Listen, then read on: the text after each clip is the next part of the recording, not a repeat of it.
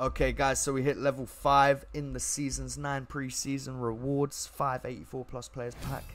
We're going to uh, claim this, and we're going to go and open this right now, see what we can get. And, uh, yeah, well, we've already completed Ronaldinho now, so it's not going to go towards that.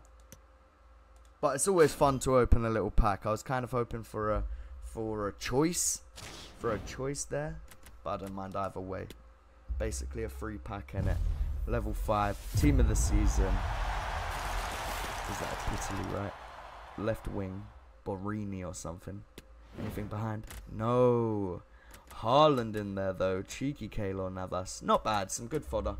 Borini in there as well. To be honest though, I'm going to throw him away. I'm going to throw him away.